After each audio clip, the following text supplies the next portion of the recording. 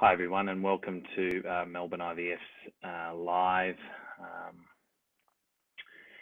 first of all, we're going to be discussing uh, topics that are probably are going to evoke some emotional responses for a lot of you.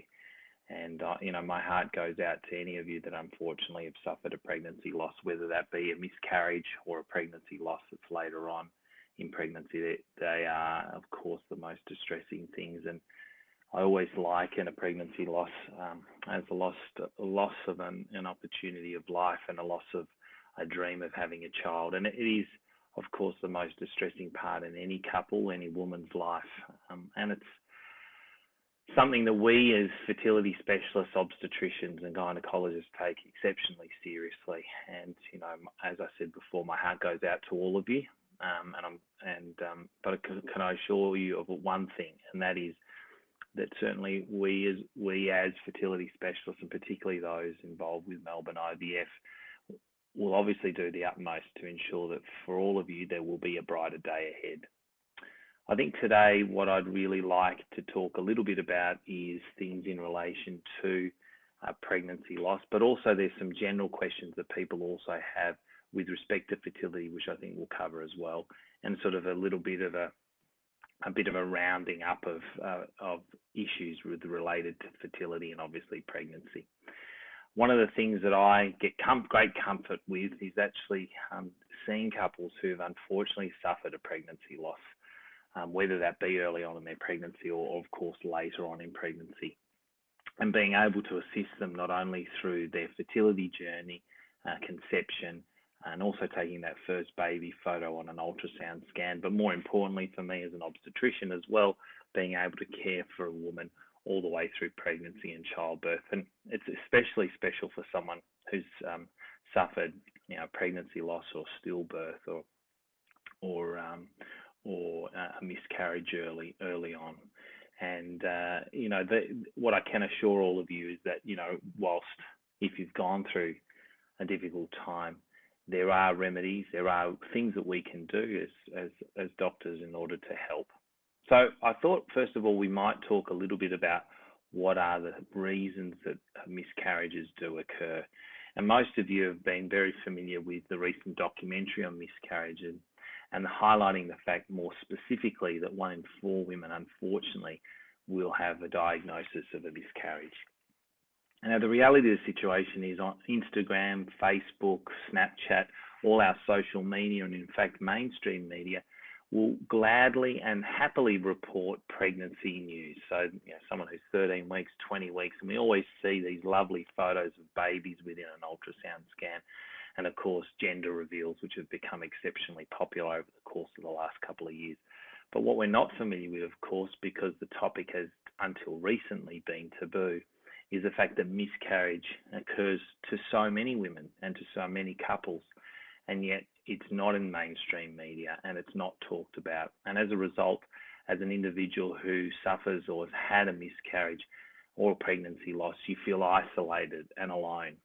And as an obstetrician, as well as being a fertility specialist, I'm, I'm often asked by couples and women um, in respect to, you know, why, when we should tell people when we actually are pregnant. And of course, the reason why most people wait until 13 weeks is because they're waiting for the Down syndrome screening test to come back. But also, there's a sense that if you tell people too early and something doesn't uh, quite go right, there's a sense of failure. One thing I can assure you is your body doesn't fail you just because you've had a miscarriage. And then, in actual fact, I encourage all my patients to tell people soon when they're pregnant because it's really important to surround yourself with people who will be there to protect you and guide you and counsel you and provide a shoulder to cry on if indeed you've had a miscarriage. So I think the first things first, we should talk a little bit about the causes or the reasons for miscarriage. And they can be divided up into um, several different categories, and we'll go through them individually. And then I'll talk a little bit about what we can do in order to remedy those things. So the first thing is something called a chromosomal abnormality. Now, many of you are familiar with the fact that we have genes, but those genes are and the DNA is packaged together in something called a chromosome. And as human beings, we all have a pair of 22 chromosomes. And of course, we've also got uh, the X and the Y chromosome if we're male, and X and X if we're female. One of the things I want you to imagine is that as humans, uh, the male obviously will give a portion of the chromosomes across to the embryo, the developing pregnancy, and of course the female will also give a proportion of uh, the chromosomes across to the pregnancy as well. I want you to imagine on one side we have all the male chromosomes linked together like volumes of an encyclopedia. So in other words, there's two volume ones, two volume twos, two volume threes, all the way in through until we get volume 22. And there's also an X and a Y volume. On the flip side, on the maternal side, there are also two volume ones, two volume twos, all the way through until we hit 22 with an X and an X. Now, when an embryo is created, it's like taking one volume of mum's um, uh, volume one from the bookshelf and putting it into the new developing pregnancy, and taking one of dad's volume one and putting it in to the uh, into the pregnancy as well. And you can imagine these books flying out from the bookshelf to repopulate a new set of 22 volumes with a pair of each of them. And of course, the male will send across either an X and a Y, and the female will always send an X and an X. And depending on whether the male sends an X or a Y will ultimately depend on whether the pregnancy is a male or a female. Now, unfortunately, as a woman ages, uh, many of the chromosomes that are in the bookshelf can potentially become stuck. Either they can become stuck together, and so they both populate the new developing pregnancy. So there'll be three copies of a particular chromosome. In the example, for example, of Down syndrome, where there are two copies of chromosome 21 or two volume 21s that come into the pregnancy, and one from the paternal side, meaning that there are three copies of chromosome 21. Or alternatively, the volumes within the bookshelf actually get stuck, so none come out. So whilst there may be a chromosome 21 that comes out from the paternal side, no, no volume 21s come from the maternal side. And so the developing embryo or the pregnancy has a deficiency in the number of chromosomes. It's missing a chromosome. Now, they ha happen as a woman ages quite randomly. And unfortunately around, and they can also happen in women who are younger. And of course, uh, any rearrangement or any addition or subtraction of chromosomes, as, as there would be a subtraction of or addition of volumes of the encyclopedia, could ultimately result in a miscarriage. And we know that approximately 50% of pregnancies, up to 70% of pregnancies, will often be a result of a chromosomal rearrangement. And as much as this is distressing, because of course in some cases you certainly see a pregnancy with a heartbeat, uh, it is nature's way of saying that unfortunately this is not a pregnancy that should go ahead. And one of the things I think that's comforting for a lot of people is to know that historically we as doctors used to say to women, look, we there's a couple of things we used to say. Number one, we're not going to test to see if there's any reasons for miscarriage. And number two, historically, doctors used to say, look, we're not going to wait. We're going to wait until three months until we we uh, ask you to become pregnant again. One thing I can say now is that any, as I said earlier, any pregnancy loss is a, is a loss of a potential dream, a potential uh, life, and and also a potential parent being parents and so that can be quite devastating for a couple, and one pregnancy loss is too much. And in actual fact, now most, if not all of us, will actually investigate early on in terms of miscarriage. Indeed, couples who come and see me for fertility treatment, I will automatically work them up for pre pregnancy in their pre pregnancy counselling for concerns with respect to pregnancy loss because I don't want anyone to experience a pregnancy loss per se. The other thing is this historic rule of waiting for three months until you can conceive again has really been tossed out. And indeed, most most fertility specialists, obstetricians, and gynecologists now will recommend couples commence trying again with the next period, assuming, of course, that physically and emotionally you're you're, you're in you're in good shape. One of the things you do, of course, is recover quite quickly uh, physically, but you know emotionally the toll can be quite hard and certainly for any of you who are experiencing any potential uh, distress with respect to miscarriage, please speak to your doctor, reach out to your general practitioner, and seek the support and guidance of a psychologist because you know you're not alone in this, and also reach out to friends and family. But we do know that if you actually try to become pregnant sooner rather than later, that the chance of a pregnancy, particularly in those first three months, is 70% greater than if you just waited so they did a study where they looked at women and they said to women, okay, don't get pregnant for three to six months. And these other women were told, please get pregnant straight away. And what they found in actual fact was the women who were told to get pregnant straight away, up to 70% of them were actually pregnant whilst the other women were waiting behind. So as long as you're feeling physically, medically, and all the tests and investigations prove that there isn't an issue with uh, pregnant with a potential recurrent uh, pregnancy loss, then please don't hesitate to try again. But you know, seek the advice of your doctor. So one of the biggest issues, as I've highlighted, is related to a chromosomal issue, and it is nature's way, unfortunately, of saying that this wasn't the right time. The other thing is related to a structural abnormality within the uterus. The uterus, of course, is a womb. It's where the, the, the embryo will implant. But think of it rather as a room. Now, if you're putting, a, for example, a nice plant within a room, you want to make sure that it can grow big and wide in that room and expand as much as it possibly can. If there are any partitions within the room, or if there's something bulging into the room, then of course that will limit the capacity for that tree to blossom within that particular room. So sometimes we have concerns with partitions within the womb, which are called septums, or alternatively fibroids, which encroach into the cavity of the womb. And these can impact um, the, the, a pregnancy and unfortunately lead to pregnancy loss. And so, as fertility specialists, we will obviously look inside the womb. We may do some ultrasound scans or some tubal patency tests, having a look and trying to define whether the womb is structurally normal and is receptive to pregnancy. The next issue relates specifically to autoimmune conditions, and there's a wide range of autoimmune conditions. The major one being lupus, and we look for anti-cardiolipin antibodies and lupus anticoagulant, which have been reported to cause miscarriage. And of course, there are things we can do, uh, things like clexane and aspirin, in order to reduce the risk of miscarriage in any future pregnancy. The next thing we look at particularly is hormonal issues. And so things like thyroid disease and diabetes and even PCOS can potentially lead to miscarriage. And this is one thing that we obviously look at pre-pregnancy in order to make sure there is we're mitigating against the risk of that by controlling any issues with respect to high sugar levels or alternatively maintaining good and adequate support of the thyroid hormone in order to reduce the risk of miscarriage.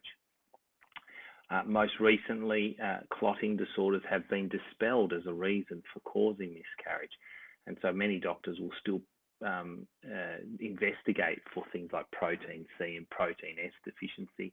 Um, but really, the reality of the situation is they very rarely cause any concerns with pregnancy. And then there are things that are subsequently in development, things where we know that there's a potential risk of miscarriage, but yet the evidence uh, number one, not only in terms of, of it actually specifically causing it, but more importantly, how to treat it is, is sort of in, in the verge of, of coming out. So it's emerging technologies. And these are things like natural killer cells. Um, and in addition to that, uh, also sperm DNA fragmentation.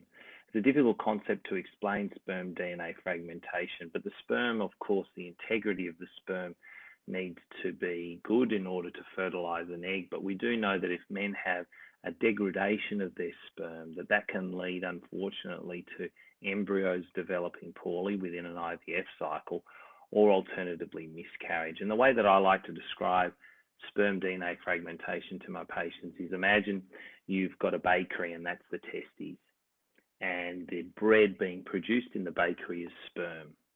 Within the testes, the sperm are produced just like ovens, uh, just like bread is produced within a bakery. But of course, as the bread then travels from that bakery and goes out to Woolies or Coles, it can become stale. And so when you get it from Woolies or Coles, you might find that it, it it's not doesn't taste as good. Well, the same thing can happen with sperm. As sperm is stored within the testes and waits to to come out through the ejaculate, that sperm DNA can subsequently fragment and that can lead to a poor quality development of the embryo and of course miscarriage. So these are tests that your doctor may may actually um, decide to to undertake in order to give you the best chance of being able to conceive in the future. The other things, of course, in relation to pregnancy loss can occur beyond 13 weeks, and this is the structural integrity of the cervix itself, so where we have cervical insufficiency, where the cervix shortens during pregnancy, and unfortunately women lose their their their babies, you know, from the 16th, 20th, 20 before their 24th week, where the likelihood of having a baby and being able to take that baby home is very remote. And then there's issues such as infection, which can also cause a concern and sending infection into the uterus. And so these are other reasons as to why pregnancy, early, later pregnancy losses can occur. And part of any workup then in terms of uh, miscarriage is obviously to mitigate or reduce the risk of that occurring again by fully investigating and making sure that there isn't anything that we can identify and that we can subsequently reverse in order to prevent a miscarriage for the future. And that's part of what we do as fertility specialists, is what we do as gynecologists and also obstetricians in order to make sure that those brighter days are going to come ahead.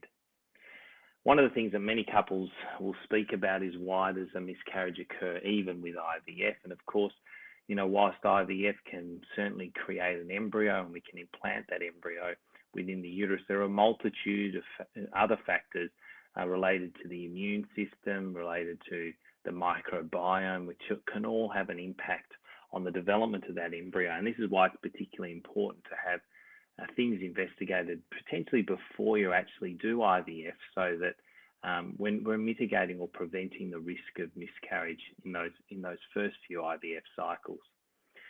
But there is a role for IVF, particularly for women who have recurrent miscarriages, where we think the likelihood of miscarriage is particularly occurring because of a chromosomal issue with respect to the embryo. So one of the great things in the modern technology that we're able to do is sample the embryo by taking between four to six cells from the outer shell of the embryo and sampling those cells and expanding the DNA. So breaking open the cells, extracting the DNA, and then through a chemical reaction, expanding that DNA so that we can make sure that the embryos that we're putting back into a woman are chromosomally normal, something called euploid embryos. And the great thing about this is that we know that those embryos will have around about a 50 to 60% chance of pregnancy. And assuming all the other factors, autoimmune conditions, endocrine, endocrinological conditions, the structural integrity of the uterus, the sperm DNA, immunological factors are all controlled for, then the chance of pregnancy and an ongoing pregnancy is exceptionally high. Um, Kelly's asked specifically related about lifestyle changes there is evidence, of course, that stress does play a role in uh, in miscarriage, and so you know making sure that you surround yourself again by a good support network is going to be particularly important. I think one of the advantages of going through Melbourne IVF is that you have a personal doctor that goes through the whole process in terms of your fertility journey, whether that be from your first appointment uh, to then the follow-up appointment, subsequently through any scans that you might have through your fertility journey, not necessarily through IVF, but if indeed you do do IVF, of course, the fertility scans during IVF, also the embryo, you know, the egg collection rather, and the embryo transfer, and of course that first pregnancy scan. So that continuity of care is is what we truly, you know, we truly desire in terms of this particular fertility journey but it's also what patients, um, you know, desire in terms of you know, making sure they've got great access to their doctor, and of course having a, a good outcome is is founded by that rapport and relationship that you have with your medical specialist. But then it's important also to acknowledge that there's things like you know, counsellors, nursing team, your friends and family that can also be there to support. I think there's also issues with respect to making sure you have a healthy diet, uh, looking at any supplements that can improve ovarian and also sperm function, because that's obviously going to be vitally important in making sure that that embryo develops well within the uterus. Um, but IVF does have a role, and as I've rightly said before, that that role is in, in, the setting of women who've had recurrent miscarriages and being able to screen that embryo to make sure that embryo is genetically normal. Um, i think I've answered um, a few questions specifically related to uh, miscarriages. Um, and then I've also, uh, is there any considerations for women with antiphospholipid syndrome seeking fertility treatment?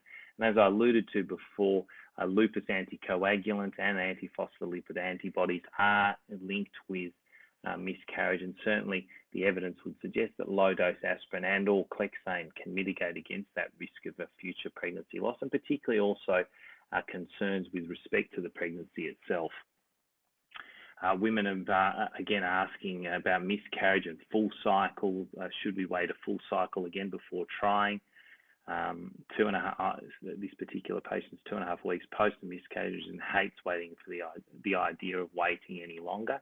And as I alluded, alluded to before at the start of my um, at the start of my presentation, there's no doubt that you do not need to wait. So assuming that the pregnancy hormone has returned to low, to zero, and that you feel physically and more importantly, emotionally well, then there's no harm in trying once again. One of the things that I do with all my patients, and I suppose I'm fortunate that not only do I look after women during their fertility journey, but I also have the, the continuity of being able to look after women during their pregnancy as well, is I'll offer women a frequent ultrasound scan every week up until we hit 13 weeks. And whilst the evidence is, there's one study, but the evidence suggests that in actual fact that reduces the risk of miscarriage. And it probably is because there's less stress, there's less cortisol, cortisol floating around the system when you know that every week you've got this ultrasound scan that's continuing to provide you reassurance that the pregnancy is going okay. So that'll mean a scan at six weeks, it'll mean a scan at seven weeks, it'll mean a scan at eight weeks, nine weeks, 10 weeks, 11 and 12 weeks, just to make sure that you're reassured that everything's going beautifully with this pregnancy.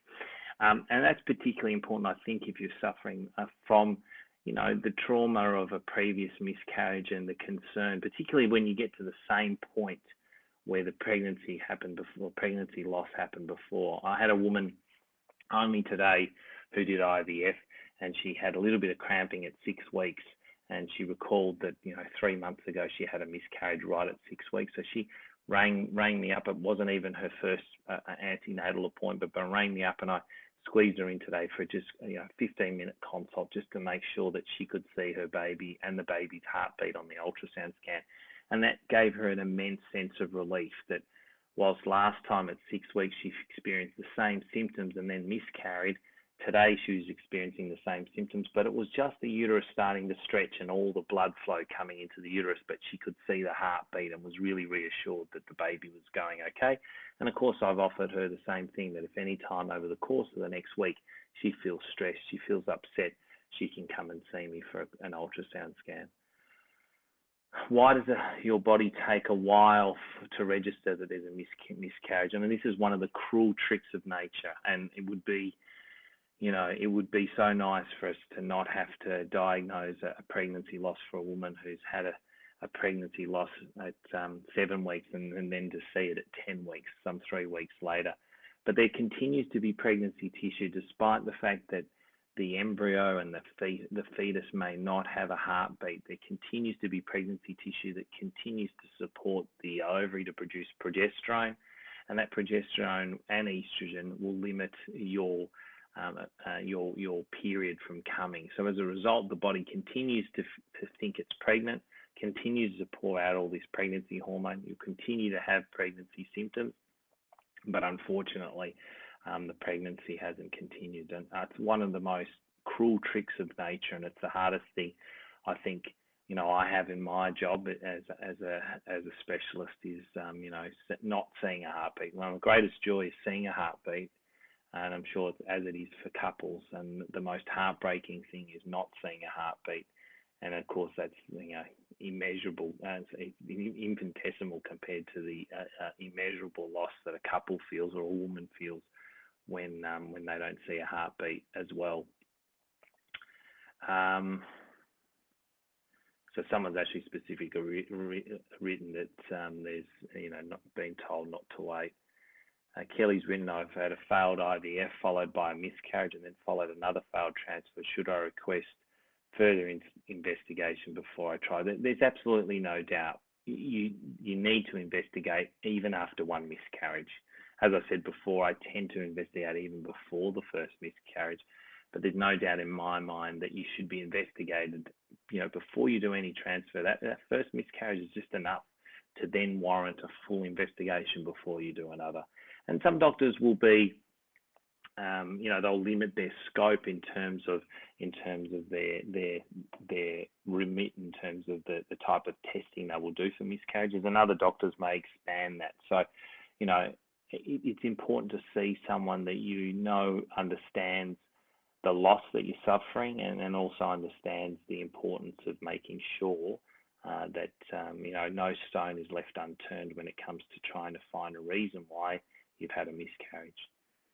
Um, subclinical hypothyroidism is something that Madison has written. Uh, my prior one of my roles has been in the past sitting on the Royal Australian New Zealand College of Obstetricians and Gynecologists uh, Women's Health Committee, and I was deputy chair of that committee. Uh, and that committee basically looked at all the guidelines with respect to women's health and directed policy in terms of treatment uh, for specific medical. And Madison, I ask you, and if anyone else wants to, to check RANZCOG, R-A-N-Z-C-O-G, uh, statement on subclinical hypothyroidism. Uh, there, there's two hats that I wear, I suppose. I wear a fertility hat and I also wear an obstetrician's hat. As a fertility specialist, I do like to see the TSH be less than 2.5 uh, when we're trying to conceive. However, the studies as an obstetrician suggest subclinical hypothyroidism, even in the setting of TPO or thyroid peroxidase antibodies, there's no influence on the outcome of pregnancy. And in actual fact, the TSH level, the thyroid stimulating hormone level, can be really high, can be up to 10, as long as the active form of thyroid hormone is within normal range. And so the RANZCOG has then subsequently modified their guidelines with the treatment of subclinical hypothyroid in the context of these larger studies that have suggested that there's no increased risk of miscarriage associated with subclinical hypothyroidism. That said, hypothyroidism itself is definitely something we would want to treat, particularly in relation to miscarriage. Danielle's written, what is the chance of IVF succeeding to full term after multiple miscarriages if a woman has successfully carried a first baby to term? So any miscarriage, as I said before, doesn't necessarily mean that any subsequent pregnancy will result in a miscarriage. Um, the rate of miscarriage, obviously, it's exceptionally, exceptionally, exceptionally rare to have three in a row. And that's why historically the medical profession didn't investigate until three, because we knew that one miscarriage was common, two was relatively common, and three rarely ever occurred. And as I said before, I think our mentality or our thinking on testing for miscarriages now has meant that we realise the importance in terms of women and, and also men and partners uh, in terms of uh, any pregnancy loss and the, and the, great impact that has upon us as a community. And that's why we test a lot earlier.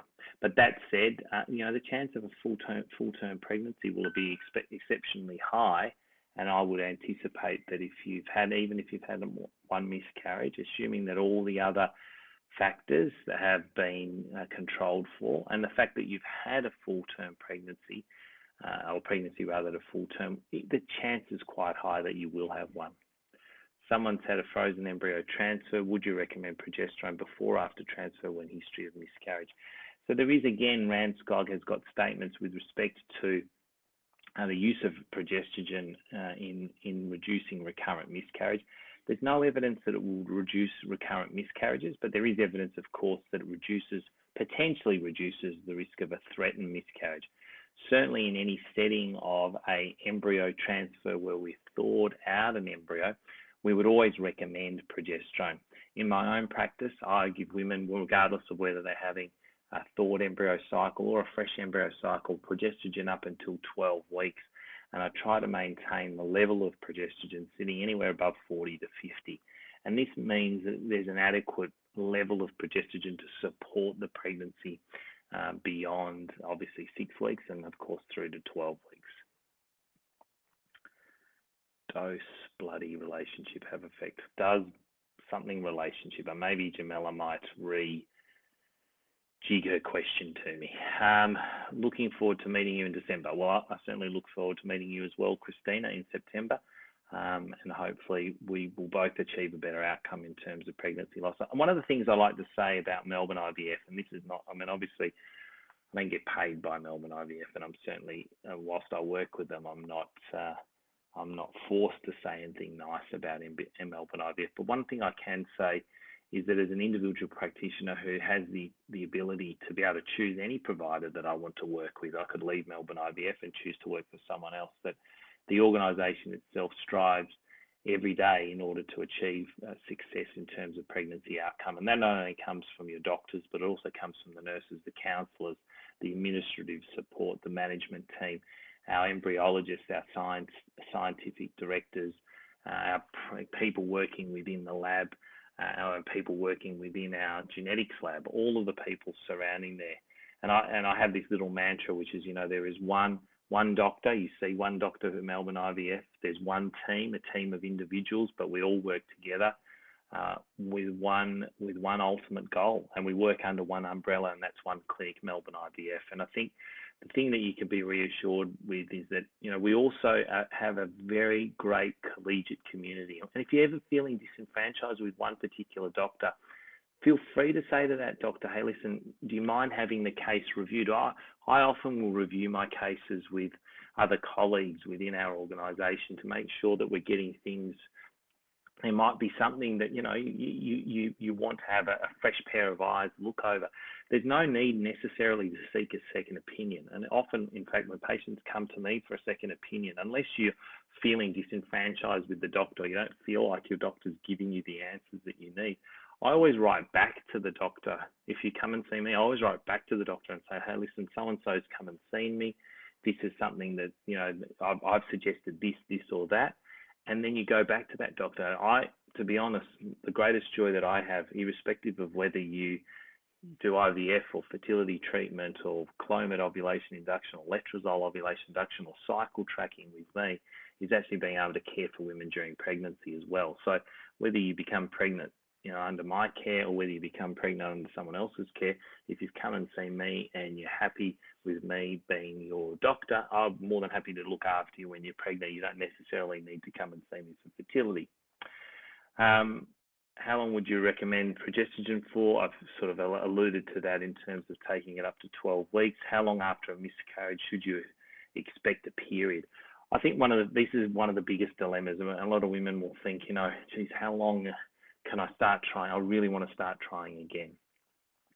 That pregnancy hormone level will slowly come down to zero. And once it does, the brain then acknowledges that there's no pregnancy hormone anymore and will then start the process of initiating ovulation. So the time interval from when the pregnancy hormone starts up high until it comes down low will be different according to the length of, of the, the time that you've had your, your your your pregnancy for. So someone who's six weeks, eight weeks, twelve weeks will have a higher pregnancy hormone, and of course, um, how how you've lost your pregnancy. So whether that's been you know naturally um, or alternatively you've had a D&C within the hospital where we've removed all the products. Um, I always offer my patients you know options in terms of how to manage their pregnancy loss uh, early pregnancy loss or miscarriage, and they can be conservative. So, in other words, allowing your body to naturally um, pass the products. In some cases, it can also be the utilization of medicine in order to help facilitate um, that pregnancy loss through a nat- natural means, or alternatively, surgical management, which includes the suction D&C.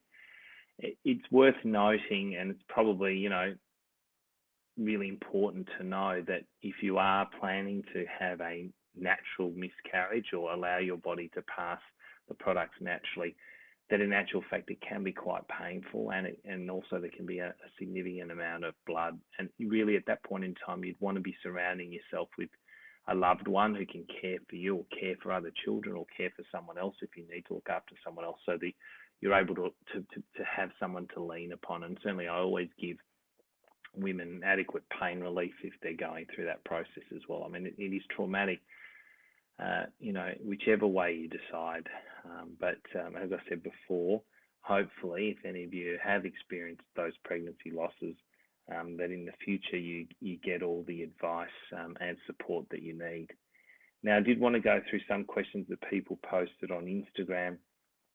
If your partner's not ready for fertility treatment, then then what? I think this is moving into the realms now of general fertility. So if anyone does have any questions about miscarriage, please don't post. Uh, please post them. But I think um, you know the reality of the situation is that with fertility treatment, it does require both partners. Uh, you know whether you're in a same-sex relationship or a heterosexual relationship to commit to the process of fertility treatment and subsequently commit to the process of becoming a parent. Um, it's difficult if you're not in a situation where both of you you're, you're aligned in terms of the common goal. And I think one of the things then is really to seek guidance and counsel not only from your doctor but also from a counsellor to make sure that you know what you want out of life is uh, what your partner wants out of life, and that's true not only in terms of fertility treatments, in terms of uh, you know parenthood as well, but in, in a range of things. So I think it's really difficult, and and and I um you know my my you know my heart goes out to you, and I hope that um, you're able to to to work through that with your partner.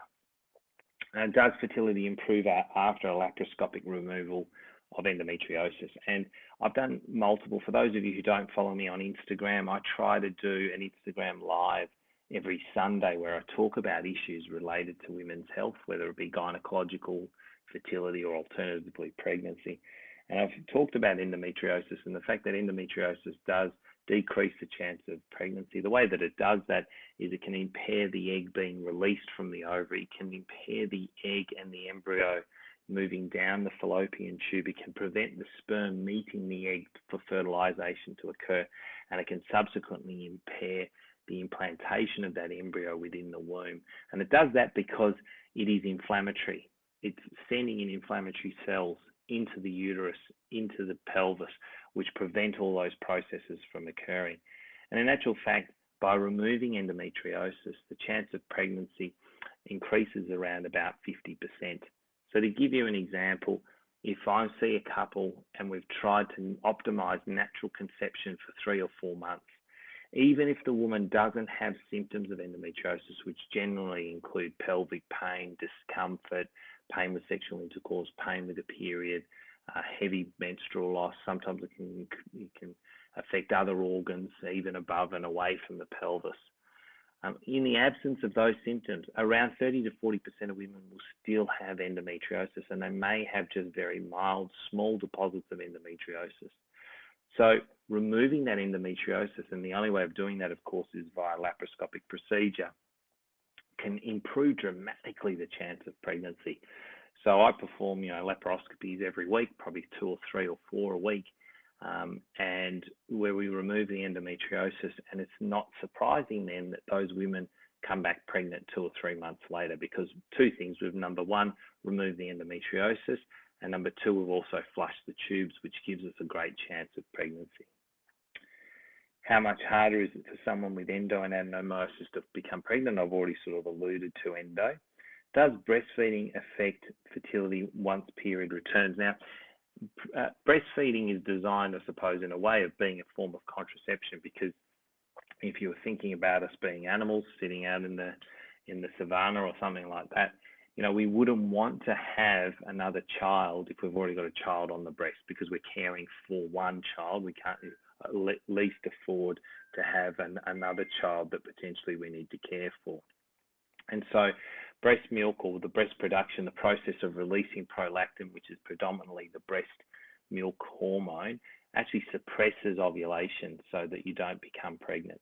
Um, you can, however, do fertility treatment. So there are ways of us being able to circumnavigate uh, the whole process of suppression of the hormones coming from the brain to the ovary. And so I have many women who are doing IVF or alternatively an embryo transfer or indeed just ovulation induction who wish to continue breastfeeding. I suppose the correlate to that is that sometimes because of the higher estrogen levels that are being produced during the fertility process, the breast milk may decrease in amount or alternatively it may change in its consistency, texture and taste and therefore um, the baby or the child may wean off the breast. So you have to be comfortable that that process may occur. Why after PGS preg- pregnancy can it fail? So this is an embryo that's been tested. As I said, a whole range of factors. We've talked about the uterus. We've talked about hormonal issues, autoimmune conditions, uh, structural abnormalities of the uterus. So just because we've accounted for the genetics of the embryo doesn't necessarily mean, unfortunately, that there isn't another issue. I certainly encourage you to be uh, able to look at, um, you know, look into that. I also am doing more and more, and most of you will be familiar with um, with what I talk about on Instagram. But I also talk about endometrial receptivity assay testing in order to time a personalised embryo transfer, and I offer that to my patients. Um, there are a multitude of reasons as to why IVF is not successful. I suppose that is a broader discussion that I'd like to do at a later point in time, um, but it's something that I think is particularly important. There are a few questions that people have asked, and I might finish off with these last two questions. So if you do have any further ones, please put them in because uh, time is now running short. But uh, once you have got your first period after D&C, should you get your blood test checked to make sure the HCG is zero, zero or can you start again straight away? I tend to want to follow the, the pregnancy hormone down to zero. Um, sometimes there can be an amount of lingering pregnancy hormone, which may mean you're not you don't get your period. So it's nice to know that everything's down to zero and it's not so much getting a period. Actually, it's more that you'll ovulate. Unless that pregnancy hormone level is down to zero, you won't ovulate and you won't be able to conceive. Um, I, I, if, if any of you unfortunately have had a D&C or or or know of someone who's who's having a D&C, just make sure the doctor does an ultrasound scan at the time of the, the surgery. I always do an ultrasound scan after I've completed the surgery because I want to make sure that the uterus is, is as empty as it possibly can be. Of course, there'll always be a bit of clot, and there's always a potential, unfortunately, of us leaving a small amount of tissue within the uterus, even after a D&C. And that's partly because it is a blind procedure. We, we're not doing it with a camera, we're doing it with a blind procedure. It's like going into a room, unfortunately, and vacuuming, and it's totally dark, and we may leave a certain amount. It's actually preferential to leave a little bit than over curette, over put in the vacuum to, to try to remove the the, the products within the uterus because sometimes that can cause adhesions within the uterus, which in itself can lead to concerns with fertility. So don't be upset if your doctor says to you, look, unfortunately, there's a little bit of tissue left there and we do need to go back. Ange has written, what is the kind of help offered for women with premature ovarian failure? I've got several patients at the moment who have got premature ovarian failure. Um, two of which have become pregnant in most recent times, and two of which at the moment we're still um, hoping uh, will become pregnant. One woman unfortunately became pregnant but had a, a miscarriage early on in pregnancy. There are things that we can do. One of those things can be doing platelet-rich plasma, where we inject um, your own platelets. So we get a sample of blood cells from the or your blood from from uh, a blood sample. We wash that down and just get the serum with platelets, and we inject that directly into the ovaries at the time of during a laparoscopy. And then I tend to do something called estrogen priming. I want you to imagine that the ovaries are like, or the ovarian function is a bit like a fireplace. A woman who's got a good ovarian function, doesn't have premature ovarian failure or premature menopause, will have a rip roaring fire. And so if you have FSH, which is follicle stimulating hormone, which you use for injections, imagine that's like a log. If you put that log on the fireplace, that fire will grow beautifully. But unfortunately for women who have premature ovarian failure, their ovaries are just like a small little ember, a little flicker of light. And if you go get a massive log, a big amount of FSH, and you dump that on that little flickering ember, unfortunately, that'll snuff out the oxygen and the and the fire will go out. So sometimes what we need to do is we need to withdraw that FSH, withdraw that high level of stimulation that the brain is doing on the ovaries to relieve to relieve the ovary to allow it to function. And we do that through a process of estrogen priming, where we give you a bit of estrogen to try to suppress the FSH levels and allow the follicle to slowly develop. And uh, during a woman's life, even if you've unfortunately had premature ovarian failure, the chance of a pregnancy is about 5% over the course of your lifetime. So it does involve a lot of ultrasound scans, a lot of blood tests to try to see what's happening with those ovaries. And the last question from Bree is, what are the chances of retained products after a natural miscarriage, or does your body normally clean everything out? Unfortunately, even following a natural miscarriage, there is a possibility that a small amount of tissue can be left, and around 30% of women may require a suction D&C after they've had a natural miscarriage. So, those women of mine who do choose to have a natural miscarriage, which I advocate for, I'll always encourage them to come back after they've stopped bleeding just to make sure the lining of the womb is completely thin. I thank you all for your time today, and I know that um, this topic uh, for many of you who've had a miscarriage can be quite distressing, and the prospect of entering into another pregnancy uh, with the potential of a future pregnancy loss can be quite daunting. As I've said before, I hope that you have all the supports in place to be able to support you during not only this difficult time if you've had a pregnancy loss, but of course uh, through any future pregnancy that you might have. And I wish you the best of luck, and I can assure all of you that with a good team in place, um, we will do the best that we possibly can, and that there will be brighter days ahead for all of you. Have a good night.